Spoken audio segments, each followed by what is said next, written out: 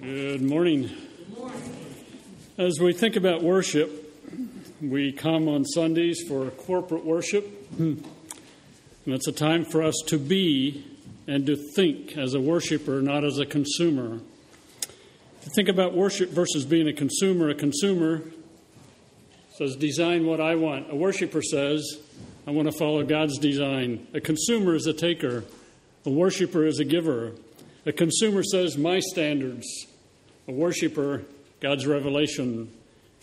A consumer mindset, please me. A worship mindset, delight in God. As we think about worship, Revelation chapter 1, middle of verse 5 and 6 say, To him who loves us and has freed us from our sins by his blood, and has made us to be a kingdom and priests to serve his God and Father, to him be glory and power forever and ever. Amen. As we worship, our concern is to respond to God and who He is, revealed in Christ. In the context of worship, a few announcements as we begin. You can put your offering in the offering box at the back of the sanctuary. Tuesday, we have an elders meeting. Next Sunday, weather permitting, corn roast. And again, that's next Sunday at 5 o'clock at Grace and Glory. And then on Tuesday evening, August 18th, there's a men and boys encouragement. Weather permitting, we'll have a campfire outside, but we'll have to wait and see what the weather does. And in terms of praise, and I don't ask, I just observe, and sometimes people comment to me, very thankful for those of you who are reaching out to one another, giving just in practical and meaningful ways in day by day living. I don't keep track of them, but occasionally I hear comments just thankful for the expression of love in this season of life. Also, there's a home discipleship sheet available in the vestibule. You can pick one up and know at your leisure. As we think about worship, we want to sing A Mighty Fortress is Our God, and it will be on PowerPoint.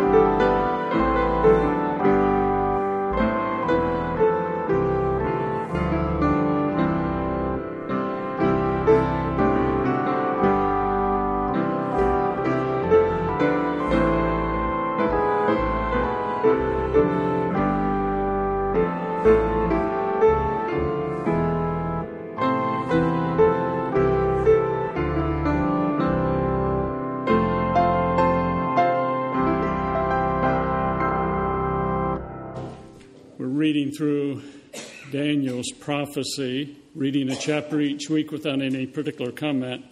And in light of the song and in light of Daniel 9, we're reminded again that God is sovereign, He's in control.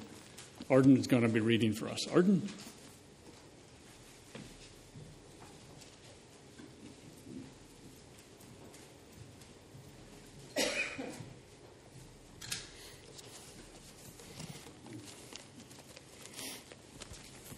Good morning.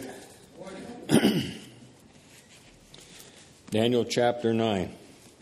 As I, as I read through this, uh, when Pastor did a study on Daniel, it kind of gets to the, for the Jewish nation, this was kind of like their revelation. And as this pandemic has been going around, this, this chapter 9 really opens your eyes up a little bit more, too. In the first year of Darius, son of Xerxes, a Mede by descent, who was made ruler over the Babylonian kingdom in the first year of his reign, I, Daniel, understood from the scriptures, according to the word of the Lord given to Jeremiah the prophet, that the desolation of Jerusalem would last 70 years. So I turned to the Lord and pleaded with him in prayer, petition, in fasting and in sackcloth and ashes. I prayed to the Lord my God and confessed, O Lord, the great and awesome God, who keeps his covenant of love with all who love him and obey his commands. We have sinned and done wrong. We have been wicked and have rebelled. We have turned away from your commands and laws. We have not listened to your servants, the prophets, who spoke in your name to our kings, our princes, and our fathers, and to all the people of the land. Lord, you are righteous, but this day we are covered with shame.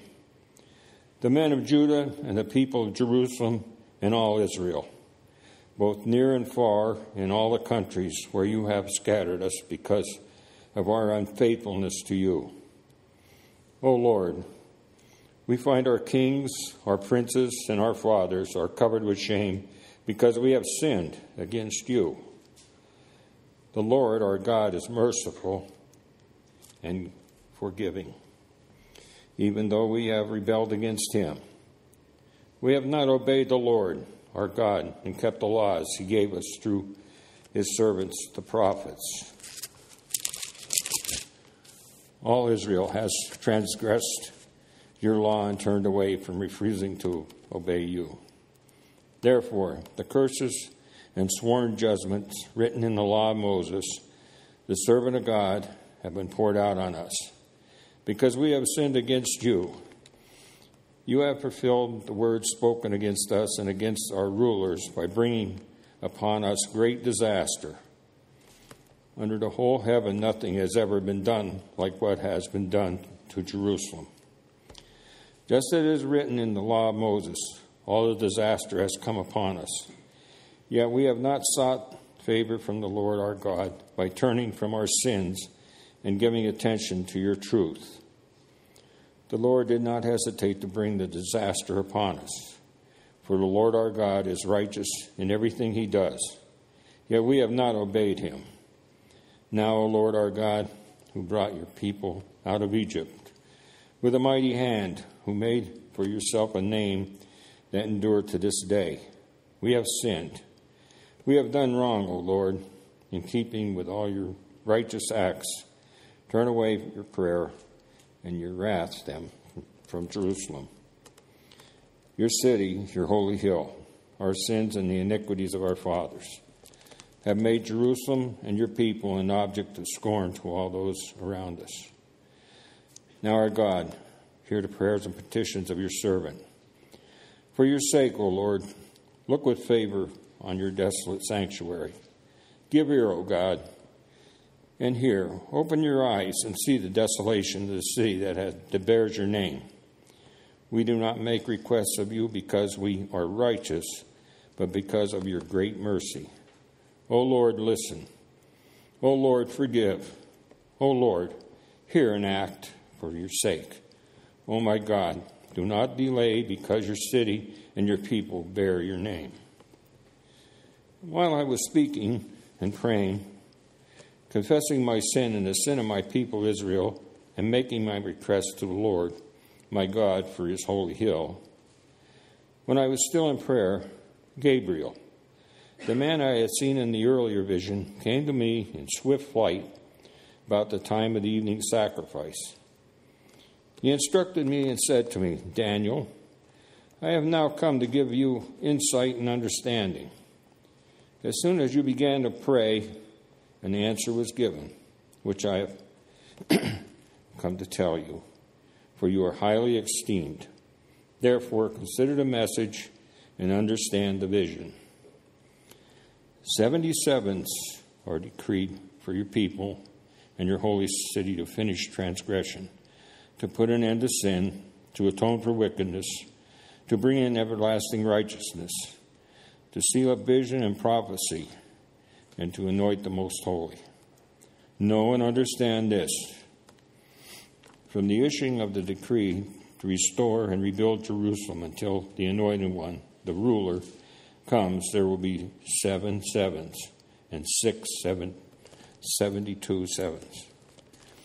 It will be rebuilt with streets and a trench, but in times of trouble, after the 62 sevens, the anointed one will be cut off and will have nothing.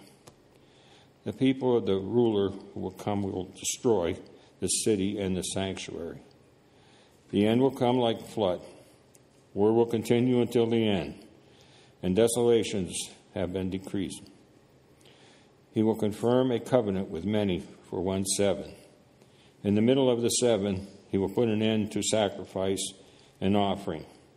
And on a wing of the temple, he will set up a domination that causes desolation, and to the end that is decreed is poured out on him.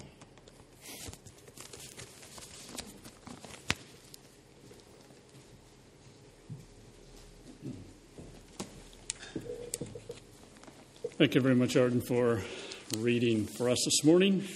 Again, we read, we give no comment on the passage that we're reading. Daniel had freedom in prayer. We have the same freedom in prayer. Let's pray together. Father, the Psalms frequently speak of the necessity of your children praising you. We praise you for what you, in your names and character and works, reveal. You're Jehovah Shammah, the independent, self existing one who is present. You're Jehovah Nissi, the independent, self existing one who is our rod, our staff, our protection. You're God Almighty, the one mighty and powerful to satisfy, nourish, and supply. In your character, we know that you're holy, merciful, compassionate, all knowing, everywhere present, avenging, faithful, and eternal. Just a few of your works. Creation, blessing Joseph while he was in Egypt, delivering three men from the fiery furnace, feeding Elijah by the ravens, answering Daniel's prayer as we read in Daniel 9 this morning, Christ coming as a human, but yet the God man, your humbling Saul who became Paul, raising Christ from the dead. Lord, we live in perilous times the world is so different from your hmm, so different from your call on us in our lives in Christ. In the midst of a worldwide pandemic, riots, election, economic turmoil, unrest, may we live for your glory by grasping the following paradox written by a Puritan years ago that the way down is the way up that to be low is to be high, that to be brokenhearted is the healed heart, that the contrite spirit is a rejoicing spirit, that the repenting soul is the victorious soul, that to have nothing is to possess all, that to bear the cross is to wear the crown, that to give is to receive, that the valley is the place of vision. Lord, in the daytime, stars can be seen from the deepest well, and the deeper the wells, the brighter your stars shine.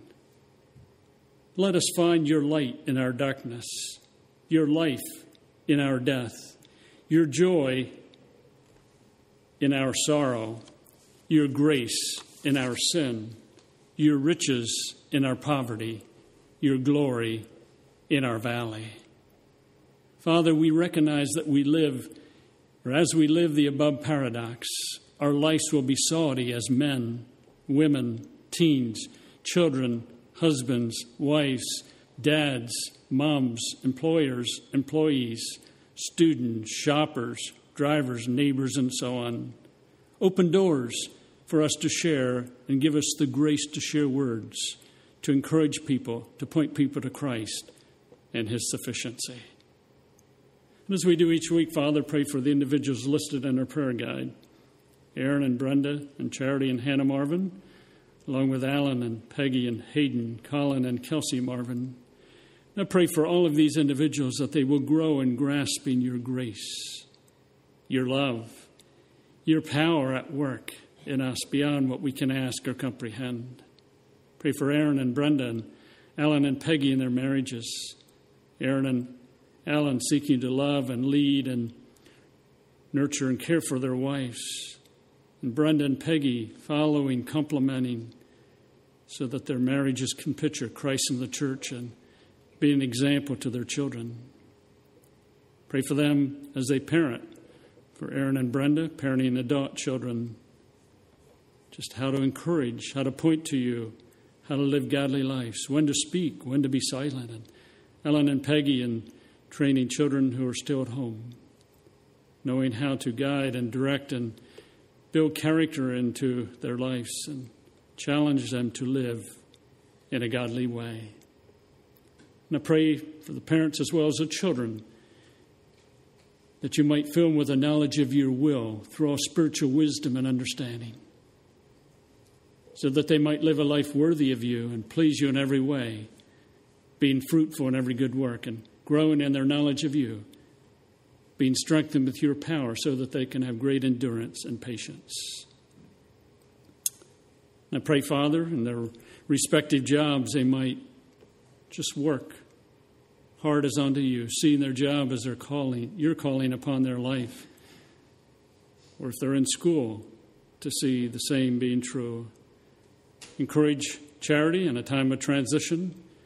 Hannah, she is working in, in school. They might ex- know you, experience you. And Hayden and Colin and Kelsey might be growing and honoring and respecting and obeying mom and dad. I think two of those in trial, Father, Al and Charlotte Ashton. Al being at John Hines now, Bill Beam having some physical problems, Travaila and the death of Art, Marty and Priscilla as Priscilla battles with cancer, Sam in Geneva, Sam battles with cancer, Lorraine in Riverside for rehab. Then people going through some relational struggles and financial difficulties. My prayer would be, Father, that they may experience you. They would have a spirit of wisdom and understanding to know you, to know Christ. Enlighten the eyes of their heart, that they might know the hope to which they have been called the riches of your inheritance in the saints, and the power that is at work in them in this time of struggle, the same power that raised Christ from the dead. May they have wisdom to rest in you, and they might rejoice in their difficulty, allowing you to build perseverance and character into their lives. And in relation to finan- or, uh, financial issues, relational struggles, and physical, you might work in light of your will and your power, Father. We thank you too for Arlene Updike, who has served you in Africa and then Tacoma, and now is in the latter years of her life. Thank you that she has a heart for you. She is seeking to finish well with a love for you, a passion to please you. Encourage her with the diminishing physical abilities. May she find a growing joy in your sufficiency and the completeness that she has in Christ. Use her to bless her family.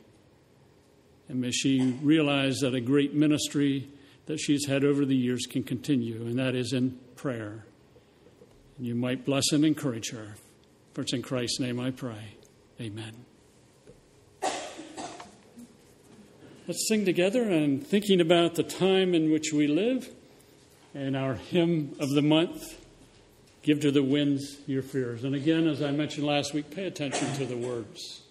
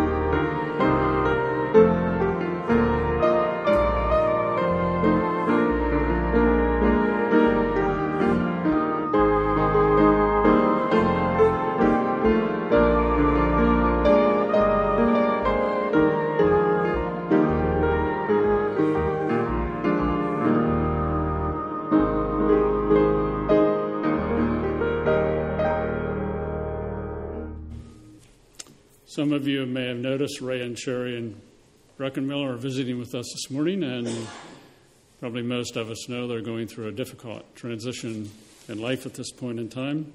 But glad to have you here this morning and to worship with us.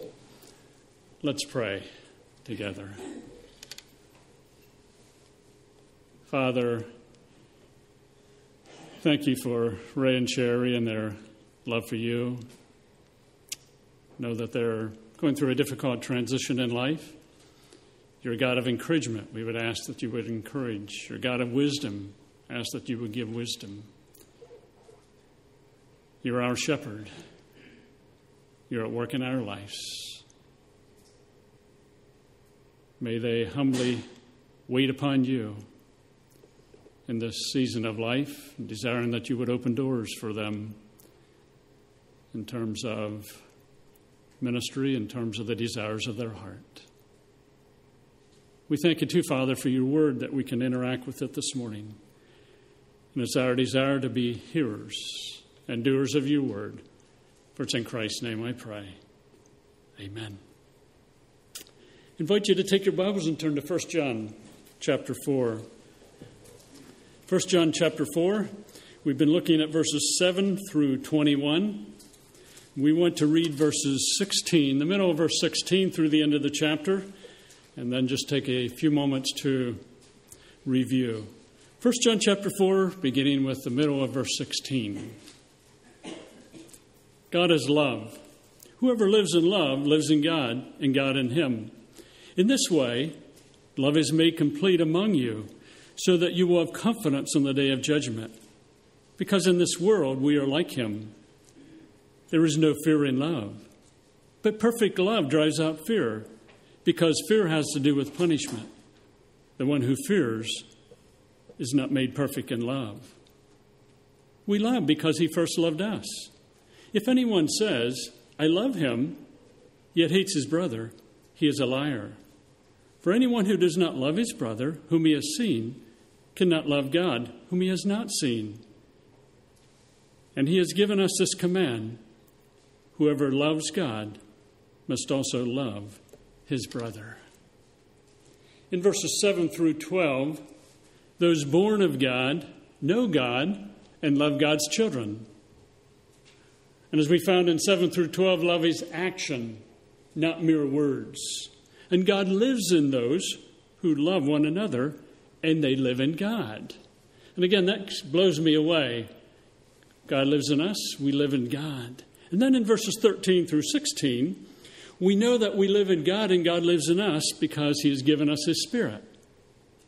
Secondly, we accept John's testimony that Christ is the Savior of the world. Thirdly, we acknowledge Jesus is the Son of God. And fourth, we know and rely on God's love.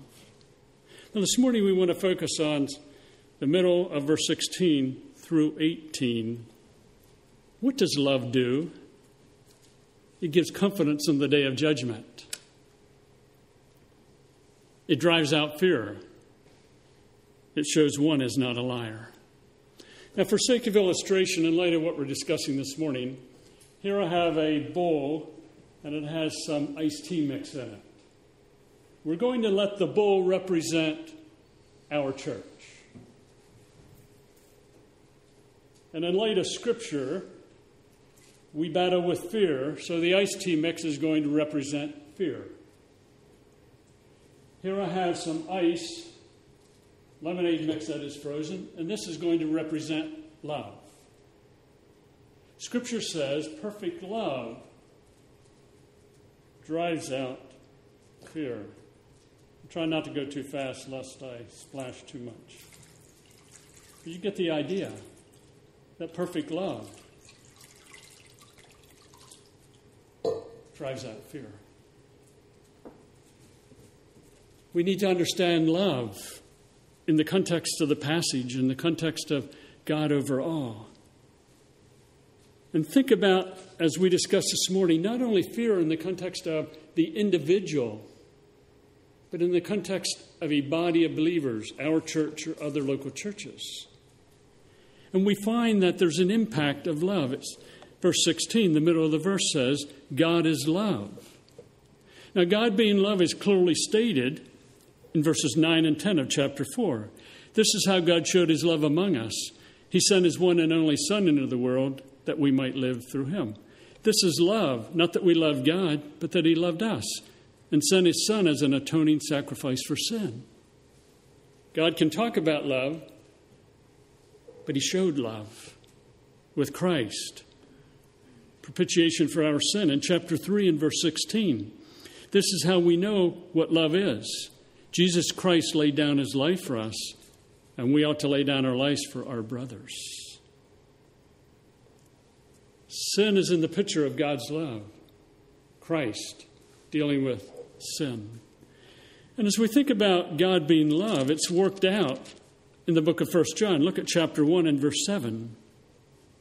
But if we walk in the light as he is in the light, we have fellowship with one another. And the blood of Jesus, his Son, purifies us from all sin. Christ's sacrifice, purification. In verses 8 through 10 of chapter 1, if we claim to be without sin, we deceive ourselves and the truth is not in us. If we confess our sins, he is faithful and just and will forgive us our sins and purify us from all unrighteousness. If we claim we have not sinned, we make him out to be a liar, and his word has no place in us. Christ, God's love, sin being dealt with. In chapter 2, 1 and 2, we find that sin is dealt with even in the present for those to whom John is writing, for believers today. My dear children, I write this to you so that you will not sin. John writes, Don't want you to sin, but if anyone does sin, we have one who speaks to the Father in our defense Jesus Christ, the righteous one. In Christ, sin in the past dealt with. In Christ, sin in the present, we have an advocate. In chapter 3, verse 1, how great is the love the Father has lavished on us that we should be called the children of God. And that is what we are. The reason the world does not know us is that it did not know Him. Dear friends, now we're children of God, and what we shall be has not yet been made known. But we know that when he appears, we shall be like him, for we shall see him as he is. Everyone who has this hope in him purifies himself, just as he is pure. As you think about God being love, in Christ he took care of sin in the past, sin in the present, in Christ We have a lawyer. In the future, we're going to be like Christ. I don't know about you. That kind of grace and love is overwhelming.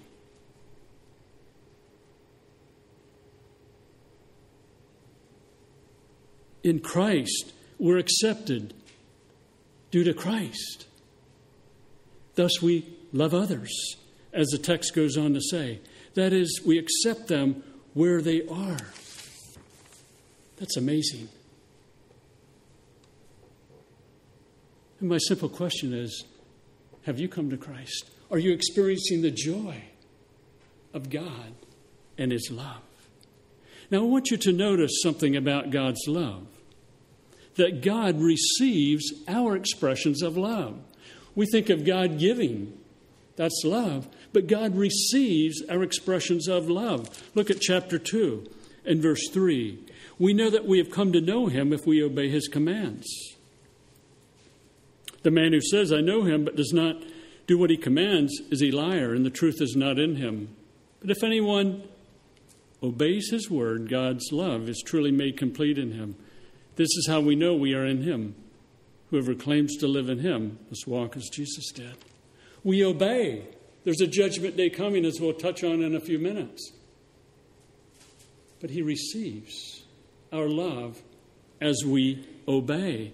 In chapter 2, 15 through 17, we won't read the verses, but there he tells us not to love the world. Because if we love the world, the love of the Father isn't in us. So, as we choose to resist the world's way of thinking and philosophy, and we live in obedience to God, He receives that expression of love. In chapter 3, 21 through 24, he says in verse 21 Dear friends, if our hearts do not condemn us, we have confidence before God, and we receive from Him anything we ask, because we obey His commands and do what pleases Him. What's happening in the context? Our hearts don't condemn us because we love. We have confidence and we ask. God receives our prayers.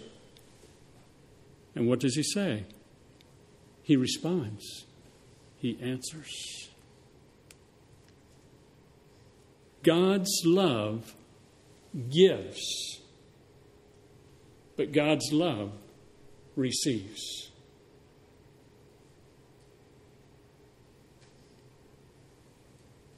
John goes on in chapter 4 Whoever lives in love lives in God and God in him. Lives in God and God in him. Remember the definition that we discussed last week lives means to dwell in, to have a permanence there. What does he say? Lives in God. John's hearers, believers today, living in God and God in him.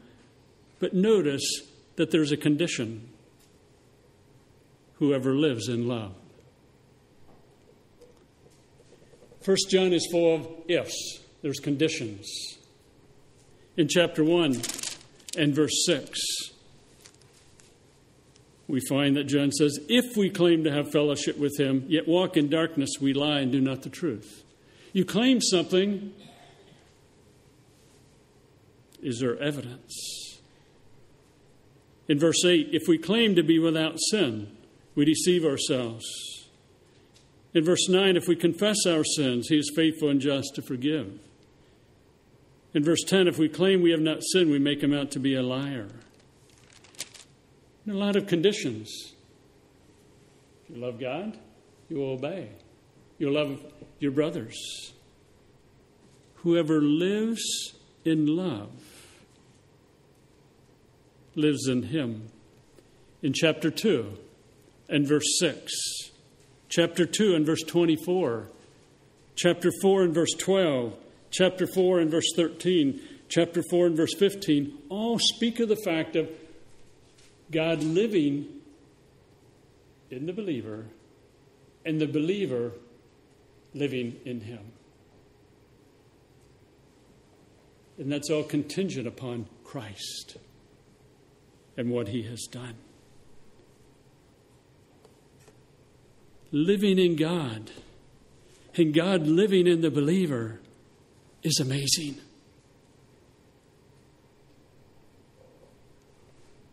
A good response is just simple obedience, glory in the Lord.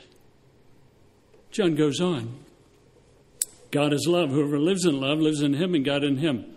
In this way, love is made complete among us so that we have confidence in the day of judgment, because in this world we are like him. Now, he talks about confidence in the day of judgment, but he begins verse 17 in this way. Seems to refer back to verse 16, where one is living in love, so God lives in him and him in God but also referring back to, I think, verses 13 through 16, where God has given His Spirit. We accept an eyewitness account of John. We acknowledge Jesus is the Son of God. And we, we know and rely on God's love. In this way, one who is walking in love, one who has the Spirit at work in him, the one who is maturing in love. He says, Love is made complete. The idea of completeness is to execute fully, to be in a condition of finality. You know, you complete something. So I remembered years ago, I graduation from college. Went, got my diploma, shook Dr. Robertson's hand. I was complete. Complete in the sense that college was done. So, in the context, the one who is living in love is being made complete or mature or fully developed. Love is made complete among us so that there is confidence. Confidence means freedom in speaking, assurance, frankness, no hiding or cowering, just an open book. John says, we have confidence. We have an openness, an assurance, a frankness. When? On the day of judgment. And the idea of judgment is when a distinction is made, you know, separation. There's a discrimination in the sense that some go one way or treated one way, and some treated another way. He's dealing with a judicial process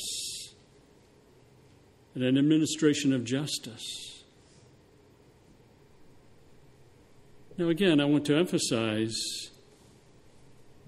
when love is made complete, we have confidence, assurance, freedom on the day of judgment.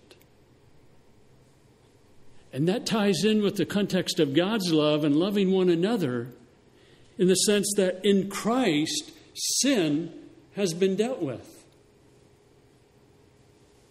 Past, present, and like Christ in the future. And then notice what the text says. We have confidence in the day of judgment because in this world we are like him. In this world, we're like God. What is God like in this world? We already read chapter 4, verses 9 and 10, where God sent his Son into the world that we might live through him, and Christ became the propitiation. We looked at chapter 3 and verse 16. God laid down his life, or Christ laid down his life for us. We found in chapter 1 and verse 7 that those who walk in the light have fellowship with one another, and the blood of Christ purifies from sin. We found in verses 8 through 10 if we acknowledge our sin, no, there is forgiveness. We found in chapter 2, 1 and 2, that in Christ there's an advocate, there's a lawyer. God's love is present in a very obvious manner when we love one another, when we're maturing in love, what is happening? We're like God. That results in confidence, in judgment. I'd like to share an example of confidence in judgment. We have a student, we'll say, is in college. They go to class every day like they're supposed to, and they want prof- the professor to take the whole time. They don't want to get out of class early because they're paying big bucks to go to college, so they want to get all they can. And every day after class, and sometimes even other days, they will go over the notes that they have taken. They'll go over the textbook. And this happens to be an entire semester, 15 week course. And every day, go over and over the notes. Again, go over the text. That is a textbook. They do this day after day. They attentively listen in class. Occasionally, the student will go up to the professor afterwards and say, I got a couple questions. The student knows that judgment day is coming, the day of the exam is coming. And the night before the exam, the student doesn't even study because they have confidence. They have studied, they have listened, they've gone over notes, they've read the text repeatedly. So there's a confidence, there's a freedom. Let the professor throw whatever he wants at me. I'm confident I can deal with it because I am prepared. And that's the idea where John is coming from. Living a life of love, being like God in the world. Judgment day is coming. There's not that scared, uh, moving back and saying, I don't know about this. But there's a confidence. I have loved. I've loved God. I've loved others. And I'm confident that God can freely examine me because I have loved. Now, that doesn't mean there's no sin and you've lived a perfect, perfect life, but sin was dealt with in Christ also.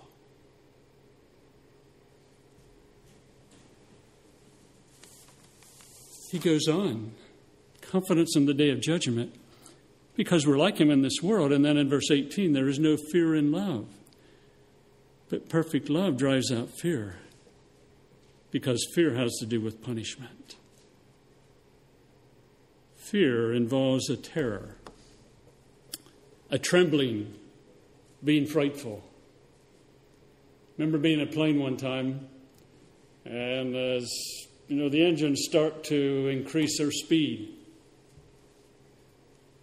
And then you begin to move slowly, and then you get to the runway, and psh,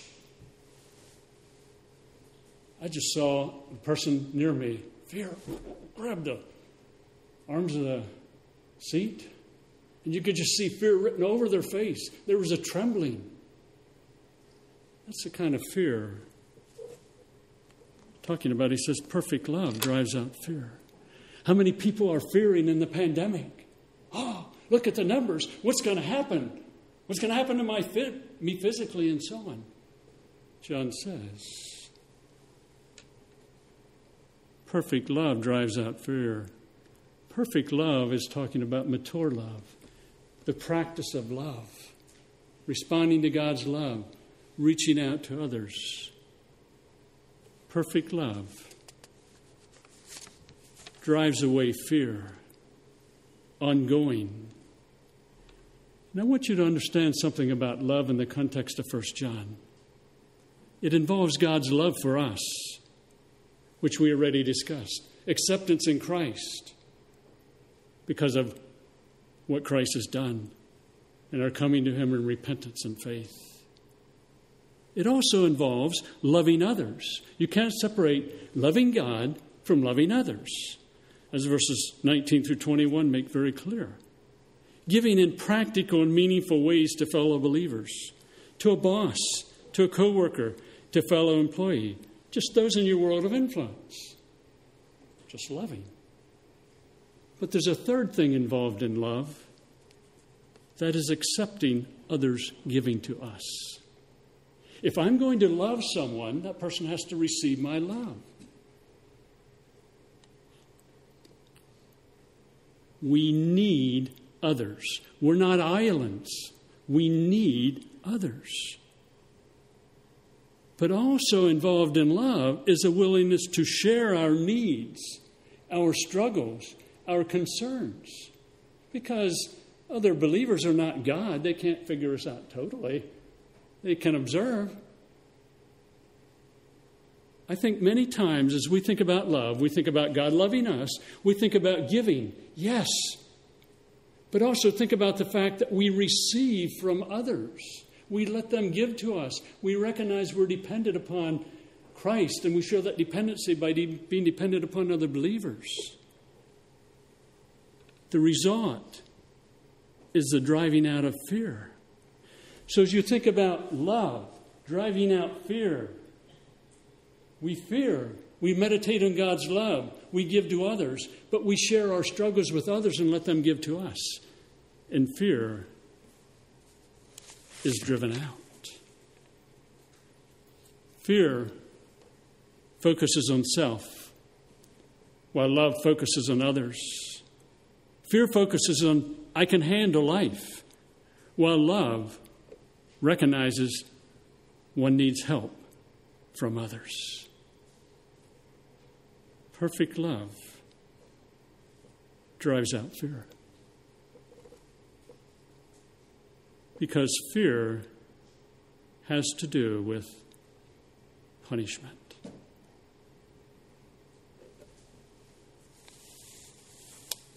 You know, the idea of judgment, but perfect love drives out fear. The one who f- fears is not made perfect in love. I want to give an example of perfect love driving out fear.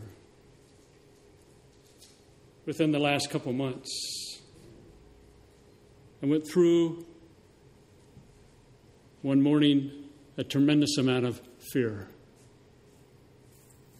My mind was just going a million directions. Now, what's going to happen? What's going to be the outcome? I was struggling. And being tempted by fear is life. Being tempted to fear is not wrong, it's part of life.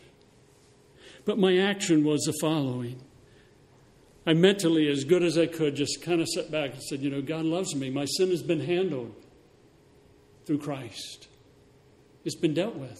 I have a lawyer. Even as I battle today, Christ is my advocate. One day in the future, I'm going to be like Christ.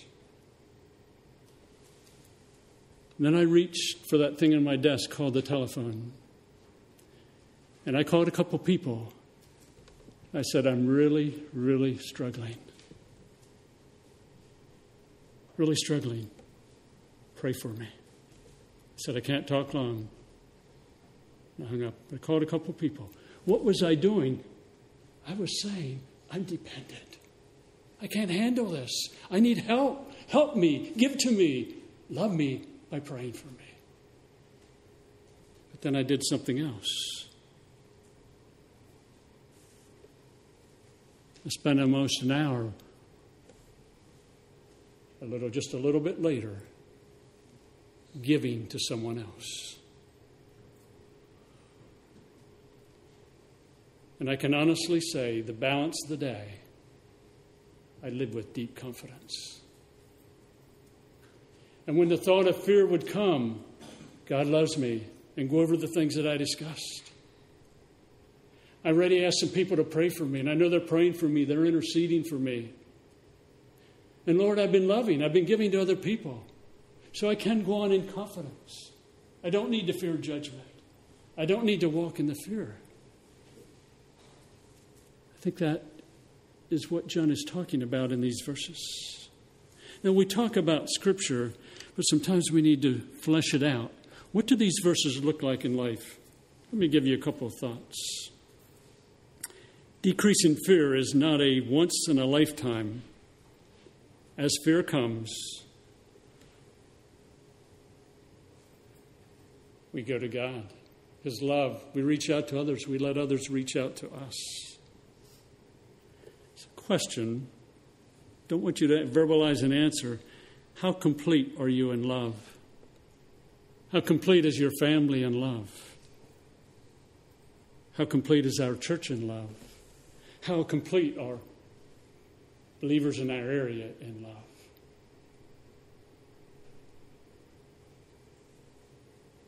Do we fear being judged by God?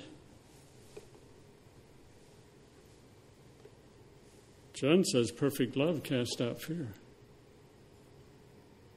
We have a fear of God, a reverential fear. That's different than the fear we're talking about here.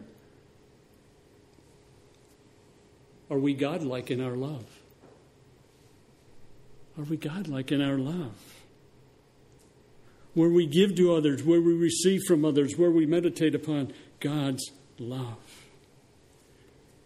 How much turmoil are we experiencing in the pandemic? Are we perfecting, or rather, are we protecting ourselves, or are we giving to others sacrificially? Do you ever think about Christ? Maybe I'm stretching it here. Coming to this earth, he's come to a pandemic, totally different than where he grew up. Not grew up, but where he was for an eternity. He grew up here. He came to a messed up world. For what purpose? To die. If he would have backed off and said, No, I don't want to go into that environment, we want to have a Savior. He came, He lived, He died, He rose from the dead, He loved. And in the pandemic, we have to reach out and give in some way, shape, or form. And I'm not saying how. I'll let you figure that out, you know, as you walk in the Spirit. But listening to people, just you know, giving in practical and meaningful ways. Use your phone, give someone a call, write a note, if you feel comfortable visiting someone, visit someone. But give. Perfect love casts out fear. But also receive from others. Don't be afraid to pick up the phone and say, I'm scared. The numbers are going up. I need your prayer. I need your encouragement. Will you say, I would never do that? Why not? If you're not willing to do that, then are we living in love? Because we're depriving the other person the opportunity to minister to us. Love is giving, receiving. God gave, He receives. We give, we receive. Is turmoil, inner turmoil, evident in our lives? You know, turmoil that is just bubbling over. In terms of fear, in the day and age in which we live, I'm strongly encouraging you to limit the amount of time you listen to the news. Most of it we don't need to know. It's not wrong to know what's going on, but too much of it just increases fear.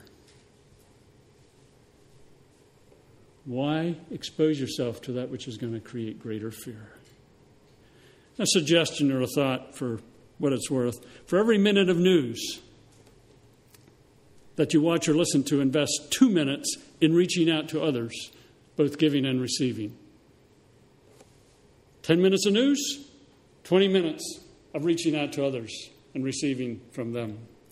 In addition, for every minute of news, two minutes in Scripture to keep your perspective in the world in which we live. And I'm not saying you have to do that. But we lose perspective pretty fast when we're bombarded with fear. We need to come back to God's love. We need to reach out to others. We need to receive from others. Plan time on a weekly basis, or monthly basis, or daily basis, I don't care, to love others in practical and meaningful ways physically, mentally, socially, spiritually, relationally, just caring for others. Fear is part of life.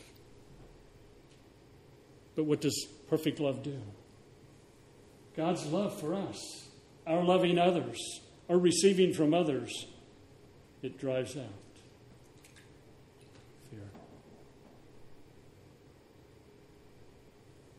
Fear is not a once and an all victory once for all victory. It's day by day as we walk with God. I want to close with a true account of someone who has battled and continues to battle with deep fear, deep, intense struggle, but yet living with confidence and loving, experiencing decreasing fear, and sharing with others. I won't give a name, but the individual would tend to be withdrawn, doesn't like crowds, doesn't necessarily want to be around a lot, a lot of people, doesn't want to be up front, would sooner just be behind the scenes. They really don't like to do much at all in public. The individual fears conflict, just wants to run from it.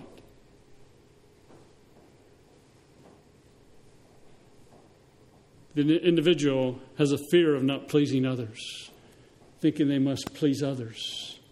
If they don't please others, they might be rejected, a fear of that rejection. A fear of others politically. Well, they're not of my political party, so I got to avoid them. You know, I'm afraid of them.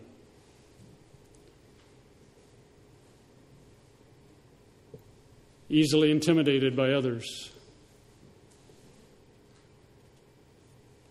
A fear when marriage came that I will not measure up in marriage in the way I treat my mate. A fear of not having answers. I might be asking a question. How am I going to respond? I don't know how to answer. A fear of not doing what others might desire. And thus, rejection. The individual today still battles with fear. But the fear is being driven out and getting a better and better handle. The individual is living with confidence, even though seems to be shaking in their shoes at times. Because the individual is experiencing God's love. My sin has been dealt with, past in Christ. In the present, I have a lawyer. In the future, I'm going to be like Christ. I have a life of giving to others, even when I don't feel like it. I reach out to others. I'm willing to receive from others. I accept the love that others express to me. And I share my needs and my struggles much more freely than I used to. An example of 1 John chapter 4, 16b through verse 18. Let's pray together.